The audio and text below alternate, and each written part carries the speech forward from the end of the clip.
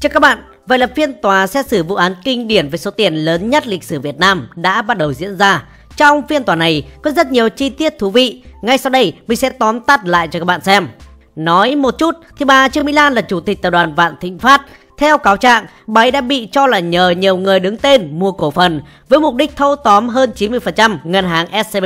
Sau khi thâu tóm xong thì bà Lan đã cho rất nhiều người vào làm các chức vụ quan trọng nhất tại nhà băng. Rồi trong khoảng 10 năm, bà ấy đã rút từ nhà băng số tiền lên tới khoảng 40 tỷ đô la. Trong 40 tỷ đô la, có nhiều khoản bà ấy đã trả lại, có khoản được thế chấp bằng tài sản, nên tính thiệt hại thì bà ấy chỉ gây ra khoảng 14 tỷ đô la thôi. Nhưng dẫu vậy thì nó vẫn là số tiền quá lớn, nhiều hơn tài sản của ông Phạm Nhật Vượng, người được cho là giàu nhất Việt Nam, cho đến khi người ta biết đến bà Lan.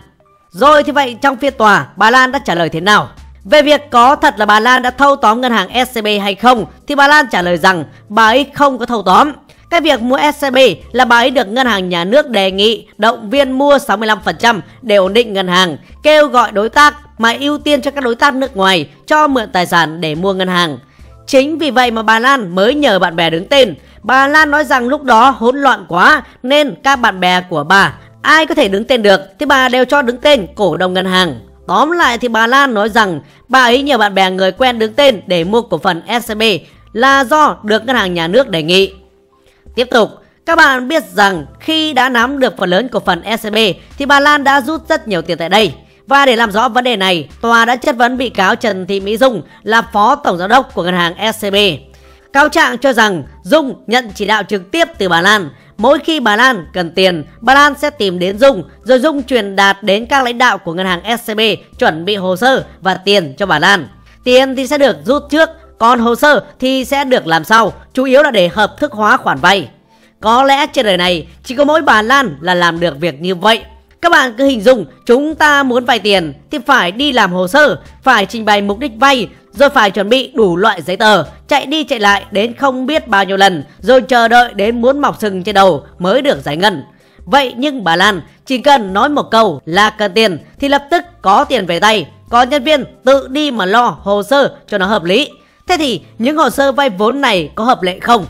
Thì câu trả lời đương nhiên ai cũng biết đó là hầu như là không.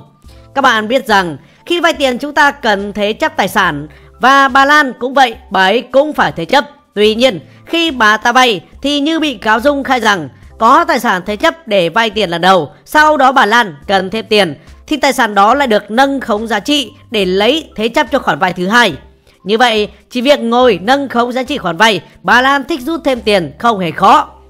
Và để làm như vậy thì Sơn là nhân viên văn phòng tái thẩm định cho biết anh ta đến làm việc với công ty thẩm định tài sản rồi đưa ra giá, bên công ty thẩm định cứ thế làm theo. Bạn hiểu rằng bình thường để vay thì sẽ có công ty làm dịch vụ thẩm định giá, họ sẽ đánh giá tài sản đó khoảng bao nhiêu rồi cho vay. Ví dụ như con xe Camry đáng giá 1 tỷ rồi ngân hàng cho vay 700 triệu. Nhưng ở đây quy trình hoàn toàn ngược lại. Giả dụ bà Lan cần 100 tỷ, ngân hàng cho rút 100 tỷ, rồi nhân viên ngân hàng đi lấy mảnh đất, rồi gặp bên công ty thẩm định bảo đây mảnh đất này cứ cho giá trị là 150 tỷ nhá. Vậy là xong. Cáo trạng nêu rằng thực tế các đơn vị tại ngân hàng SCB không có việc thẩm định khách hàng, thẩm định tài sản đảm bảo, không quan tâm đến phương án vay vốn, bỏ qua quy trình cho vay thông thường theo quy định của pháp luật.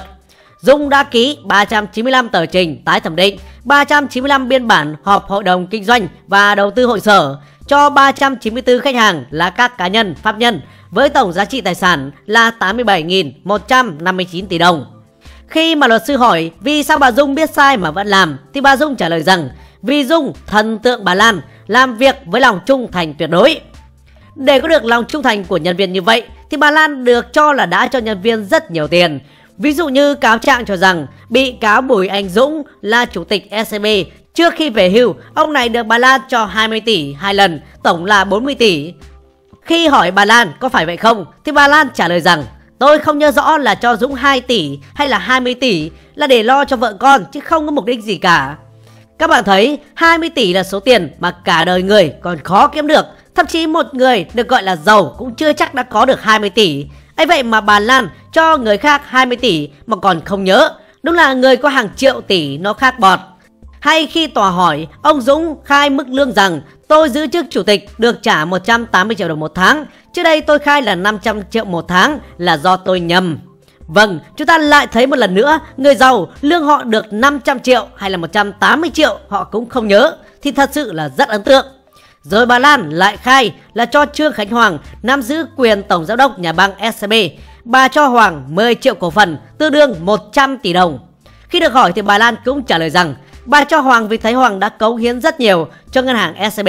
Mà nghe xong hẳn nhiều bạn sẽ nghĩ thầm không biết là cống hiến cho SCB hay là cho cái túi của bà Lan. Rồi khi luật sư hỏi, bà Lan nói rằng số tiền đó là rất nhỏ đối với bà. Kể ra thì bé cả về mà đến xin bà này hai ba cái nhỏ đó thôi thì công ty lại có tiền yên ổn làm ăn phát triển rồi. Hiện nay thì bà Lan nói rằng bà ấy sẵn sàng khắc phục hậu quả với những tài sản mà không bị kê biên. Ví dụ như con gái bà ấy đang bán tòa nhà 1 tỷ đô. Rồi các dự án mà bà ấy nói rằng đối tác nước ngoài đã mang 30 tỷ đô đến để mua. Chỉ có điều là hiện các đối tác kia nói rằng bà Lan đang bị bắt nên họ không dám mua. Cho nên bà Lan xin tòa tạo điều kiện để bà ấy đàm phán với đối tác, bán dự án lấy tiền khắc phục hậu quả.